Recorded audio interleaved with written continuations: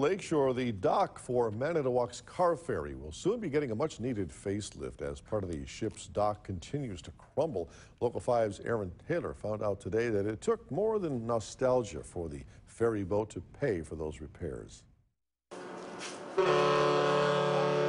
There's nostalgia associated with it, I believe. We've come when the kids were little and gotten a, a cabin and for naps and um, for the kids. The SS Badger gives passengers a chance to step back in time, but the ship's 70 year old dock is about to take a major step forward. A wall like this that they didn't do, they didn't have modeling back in that day.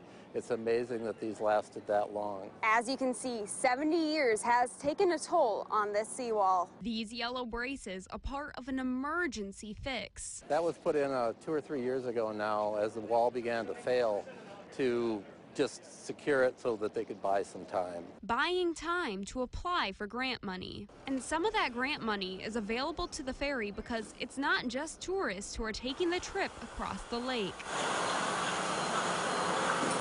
Federal grant dollars that came in were really concentrated on the movement of freight. Every semi, every oversized, overweight load that goes on this boat doesn't go through the Chicago-Gary corridor. And the federal DOT recognized that that was going to be a great benefit for, for both congestion and longevity of the highways. The semi trucks may have helped earn the grant money, but they're not the only ones happy to be off the highways. Yeah, I can it. sleep. We don't have to go through Chicago traffic. Reporting in Manitowoc, Erinn Taylor, Local 5 News.